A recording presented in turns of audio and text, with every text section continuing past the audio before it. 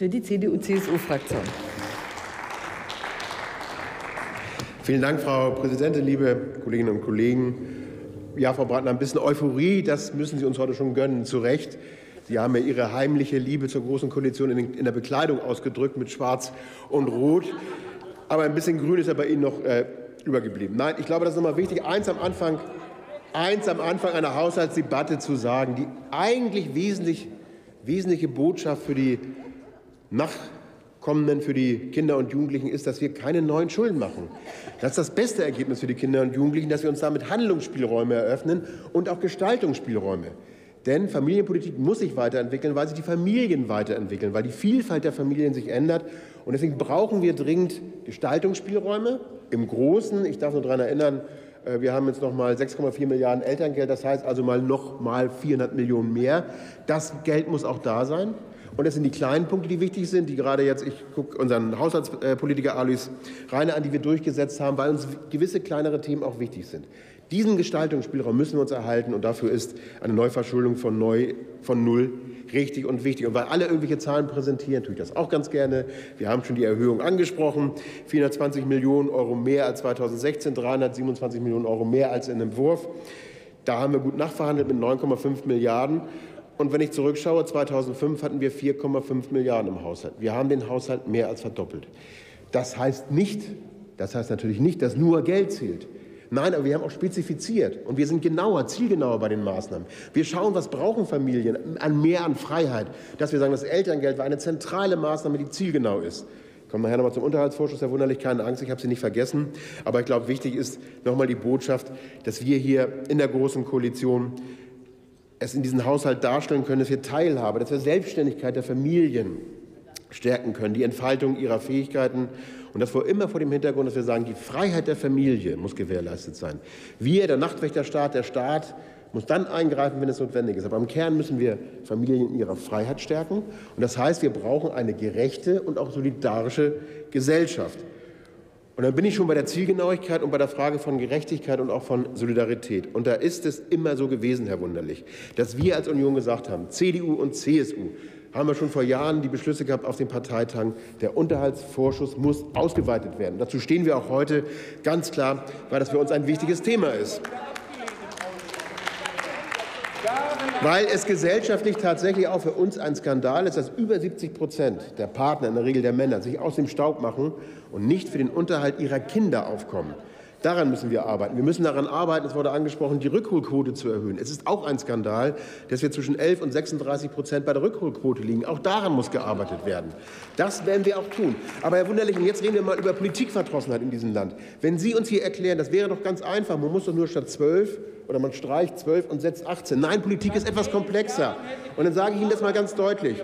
Sie sehen die begeisterten Ländervertreter. Tatsächlich richtig ist ja, dass es da einen Koalitionsausschuss gab und einen Beschluss der Länder mit dem Bund gab, dass wir den Unterhaltsausschuss ausweiten. Deswegen stehen die Länder genauso in der Verantwortung wie der Bund. Aber eins ist uns auch wichtig.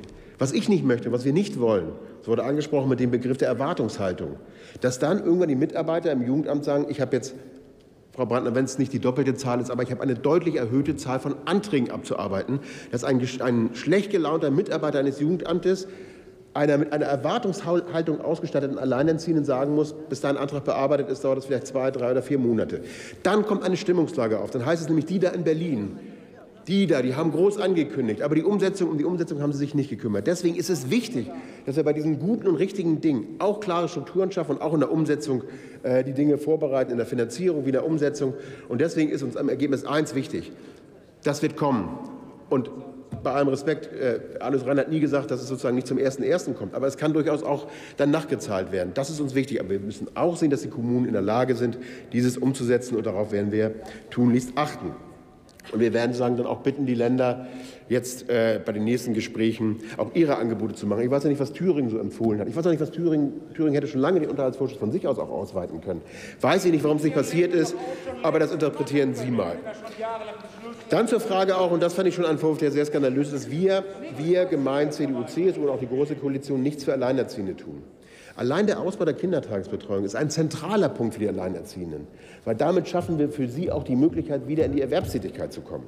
Dann haben wir den Entlastungsbeitrag ausgeweitet, deutlich ausgeweitet. Das kam zu spät, zehn Jahre zu spät, sicherlich richtig. Aber die Erhöhung von 1.308 Euro auf 1.908 Euro war ein richtiges und wichtiges Signal in dem Zusammenhang. Das heißt, wir kümmern uns um die Familien. Und ich will das ausdrücklich noch einmal betonen. Dabei diskutieren wir nicht darüber, wie die Familien leben. Diejenigen, die morgens aufstehen, ihre Kinder in die Kita bringen, in die Schule bringen, den ganzen Tag hart arbeiten, ihre Kinder abholen, sich um ihre Kinder kümmern und dann möglicherweise noch ehrenamtlich beim Fußballverein oder bei der Flüchtlingshilfe aktiv sind. Das sind die Menschen, für die wir Politik machen. Das sind die Familien, die wir stärken. Und ob sie verheiratet sind, alleinerziehend sind oder ohne Trauschein zusammenlegen, ist dann nicht die erste Kategorie, sondern es geht darum, die zu stärken, die etwas für Kinder tun und für diese Gesellschaft tun. Und der Haushalt spiegelt das auch deutlich wider. Und ein Hauptpunkt ist natürlich das Elterngeld. Das äh, ist eine Erfolgsgeschichte, tatsächlich jetzt mit 6,4 Milliarden Euro, nochmal 400 Millionen mehr. Viel, viel Geld, aber das Ergebnis ist auch eine durchaus positive Annahme, dass der Staatssekretär im Finanzministerium dann immer unterschreiben muss, wenn wieder sozusagen ein bisschen mehr gefordert wird, macht uns ja glücklich, weil das heißt ja, wir kriegen mehr Kinder. Nicht wir, aber die Gesellschaft kriegt mehr Kinder. Und das war ja auch ein Punkt in Deutschland, der uns immer wichtig war. Ich will noch auf zwei, drei kleinere und wichtigere Punkte kommen. Elterngeld, Elterngeld Plus auf der einen Seite, aber auch, ich erinnere nur an das Programm ähm, ähm, Kita Plus. Immer ein Problem war, dass viele Eltern gesagt haben, gerade die im Schichtdienst sind, ja, wie soll ich denn abends, wie soll ich das vereinbaren? Ein Polizist, der hat Schichtdienst. Und mit diesem Programm Kita Plus sagen wir auch ganz deutlich, ja, wir hören eure, sagen wir wissen, wo eure Probleme sind. Jetzt habt ihr die Möglichkeit, punktuell, temporär sozusagen auch bei der Kindertagesbetreuung, dass es einen Ausbau gibt. Ich glaube, das war auch eine richtig wichtige Geschichte mit Blick in die Zukunft. Und dann wird sich Politik verändern müssen, auch weiter in der Familienpolitik verändern müssen.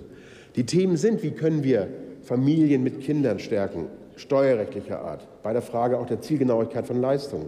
Wir müssen uns die Effizienz der Leistung angucken. Auch das wird eine Aufgabe der nächsten Jahre sein. Schnittstellenproblematik. Wir haben wie Sie wissen, deutlich über 156 Familien- und ehepolitische Leistungen. Da wird man mal fragen müssen, welche Leistung hat eigentlich welchen Mehrwert? Wo kommt das Geld zielgenau an? Beim Unterhaltsvorschuss habe ich es gesagt, das ist eine der zielgenauesten Leistungen, die es gibt.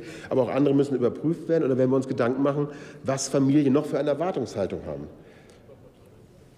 Selbstgenutztes Wohnimmobilie als Beispiel. Nicht nur unter dem Gesichtspunkt, dass wir sagen, das ist für Familien gut, sondern auch mit Blick auf die Alterssicherung wäre es denkbar oder ist es denkbar, dass wir hier noch weitere Dinge entwickeln.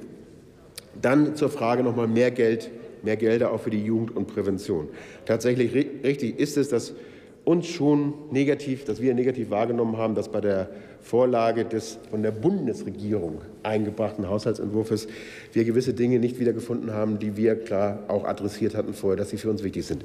Jugendverbandsarbeit, Jugendmigrationsdienste. Und ich sage mal so ein herzliches Dankeschön an alle Haushälter, natürlich insbesondere an unsere Haushälter, die Gott sei Dank diese Fehler wieder behoben haben. Und da sage ich ganz deutlich, da können wir auch ein bisschen stolz drauf sein, dass wir für die Jugendverbandsarbeit die zwei Millionen wieder hinbekommen haben, dass wir bei den Jugendmigrationsdiensten gerade in dieser Zeit die Mittel wieder so aufstocken konnten, dass sie richtig ankommen. Sie sehen also, dieser Haushalt lebt davon, dass wir Handlungsräume und Gestaltungsräume haben.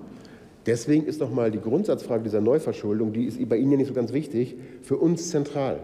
Wenn wir in einer Situation wieder eines Tages kommen sollten, wo wir nicht diese wirtschaftliche Stabilität haben, wo wir nicht sozusagen diesen Wachstum haben und die finanziellen Zuflüsse haben, dann brauchen wir und dann müssen wir uns Gestaltungs- und Handlungsspielraum möglicherweise hart erstreiten. Und da sage ich mal ganz deutlich, wir geben Geld aus und wir geben auch gerne Geld aus und möglichst viel auch. Andere müssen das erwirtschaften. Und wir sollten sehr sorgsam überlegen, wie wir das Geld ausgeben. Und deswegen muss man Politik auch ernsthaft gestalten, Herr Wunderlich. Und Ihr Politikverständnis, man macht mal ganz schnell irgendwas, ist nicht unser Politikverständnis. Wir wollen was für Familien tun. Wir wollen die Familien stärken. Wir wollen insbesondere die Kinder und Jugendlichen für die Zukunft stärken. Das machen wir auch. Aber wir machen es auch verantwortungsbewusst. Denn nichts wäre schlimmer, und ich komme noch mal auf den Unterhaltsvorschuss, wenn eines Tages eine richtige und eine wichtige Maßnahme, die wir alle gewollt haben, deshalb nicht bei den Menschen ankommt, weil wir es schlecht vorbereitet haben. Politik lebt auch davon, dass in der Struktur vorbereitet wird. Und ich gehe fest davon aus, dass wir es mit dem Unterhaltsvorschuss auch hinbekommen, weil ja Länder und Kommunen auch ein Interesse haben müssen, dass es den Familien gut geht. Und deshalb bin ich und bleibe ich da großer Hoffnung. Insgesamt kann ich sagen, ist dieses ein toller Haushalt. Und ich kann nur noch mal sagen, vielen, vielen Dank für das Nacharbeiten, dass das gelungen ist, was sozusagen noch vor ein paar Wochen ja äh, auf der Spur war. Vielen, vielen Dank und danke. Ja. Vielen Dank, Markus Weinberg. Nächster Redner ist Sönke Rix für die SPD-Fraktion.